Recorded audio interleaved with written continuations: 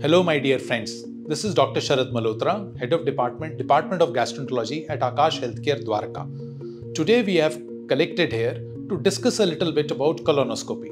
Colonoscopy क्या होती है कोलोनोस्कोपी कब करनी है कोलोनोस्कोपी कैसे करते हैं और कोलोनोस्कोपी क्यों करते हैं इस बारे में चर्चा करेंगे कोलोनोस्कोपी एक लैट्रिन के रास्ते मल के रास्ते होने वाली एंडोस्कोपी की जाँच है इसके अंदर जो हमारा एंडोस्कोप का इंस्ट्रूमेंट है, उसके आगे एक कैमरा लगा हुआ होता है। कोलोनोस्कोपी कब की जाती है?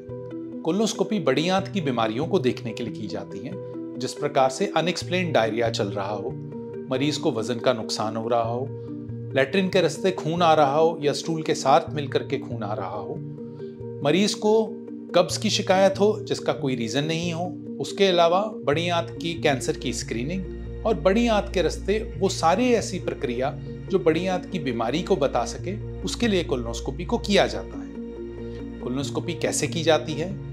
कोलोस्कोपी करने से एक दिन पहले इंसान को अपना खाना हल्का कर देना होता है स्पेशली लिक्विड्स लेने होते हैं। एक रात पहले एक ऐसी दवाई दी जाती है, जो लैक्सेटिव के प्रकार की होती है और उससे पेट कई बार पाँच से छः बार खुल करके साफ़ होता है ताकि लार्ज इंटेस्टाइन से सारा का सारा स्टूल यानी कि सारा का सारा मल साफ़ हो जाए। उसके बाद अंदर से एग्जामिन करने में एंडोस्कोप और कोलोनोस्कोप को मदद मिलती है।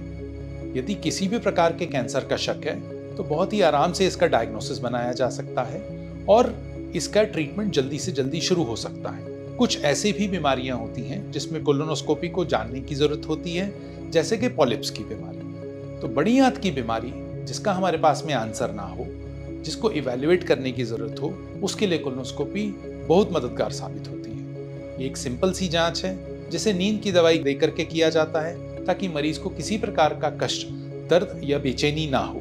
यदि समय रहते आपको कोलोनोस्कोपी की एडवाइस मिले तो अपने डॉक्टर से ज़रूर डिस्कस करें और इस बारे में जानने की कोशिश करें कि कोलोनोस्कोपी से आपको क्या फ़ायदा हो सकता है। नमस्कार।